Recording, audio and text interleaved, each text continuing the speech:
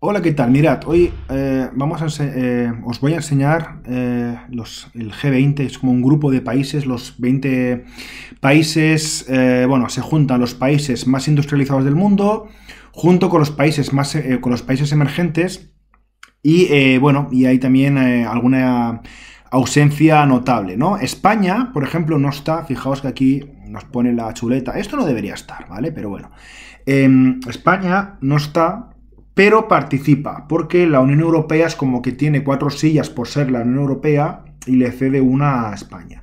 España debería estar aquí porque, bueno, digamos que es un país importante, pero bueno, está como, bueno, un poco ahí como de invitada, ¿vale?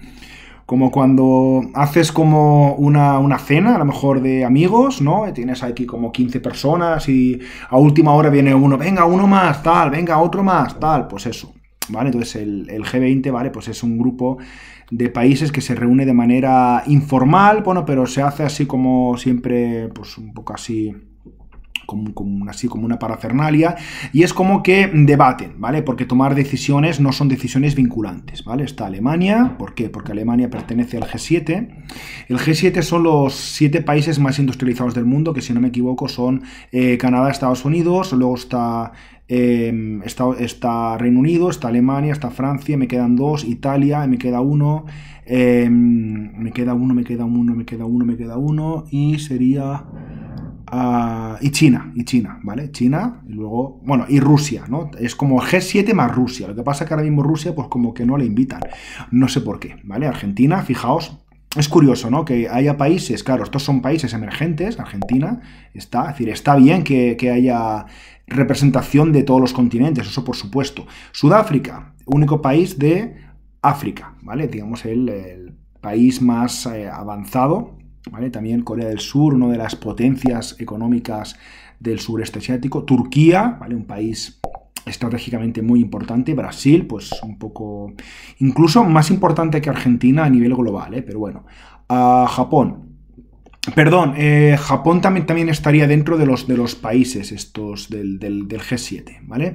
De hecho, creo que China no está y Japón sí, pero bueno, ahora el G7 es como que se ha olvidado un poco y ahora está, es el G20. La India también, pues y la India ahora mismo es el país eh, más poblado del mundo. China, pues también la segunda potencia mundial después de Estados Unidos. Australia, pues también una gran potencia eh, en esta zona. México lo suelen poner también un poco más por, por población, por esa cuota. Francia, también, uh, miembro del, del G7. Estados Unidos, por supuesto. Reino Unido, también pues uno de los países fundadores del, del, G7.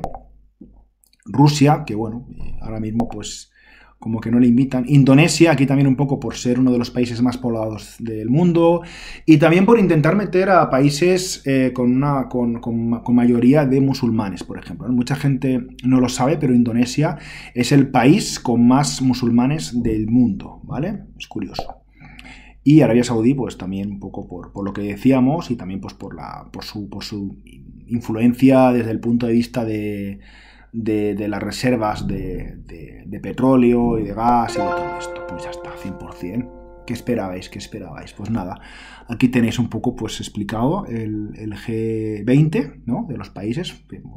Os vuelvo a insistir, ¿no? Que faltaría así un poquito España.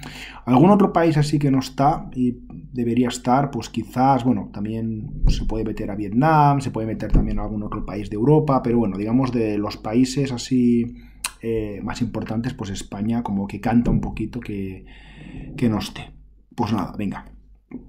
Hasta luego, que vaya bien.